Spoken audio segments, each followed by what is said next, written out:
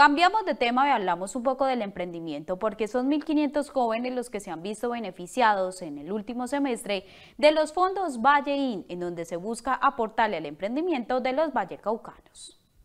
El programa Valle ha beneficiado una gran cantidad de jóvenes con insumos para hacer crecer sus ideas de negocio. Una convocatoria que se hizo con enfoque diferencial especialmente para aquellos establecimientos de comercio que sufrieron producto de este estallido social.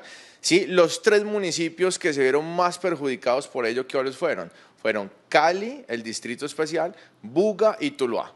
Para ellos tenemos 244 emprendimientos que se están reactivando producto de Valleín y decirles que 130 eh, de ellos, es decir, el 53,3%, son establecimientos comerciales. Es coherente con lo que pasó.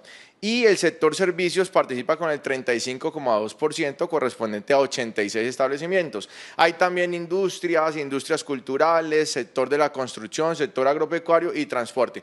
Pero los que más sufrieron fueron comercio y servicios. Las entregas donde se beneficiarán los jóvenes están por iniciar. Esta convocatoria eh, fue por 2 mil millones de pesos, los cuales están representados en maquinaria, equipo, herramientas, como lo hemos hecho con todas las convocatorias, pero también en materias primas e insumos.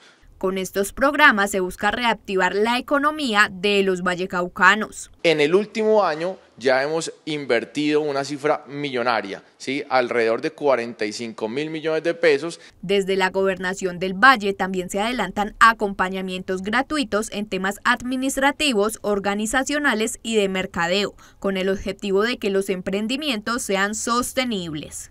Si te gustó esta nota de CNS Noticias Tuluá, no olvides suscribirte a nuestro canal de YouTube Teluro Producciones y activar la campana para que te lleguen todas las notificaciones.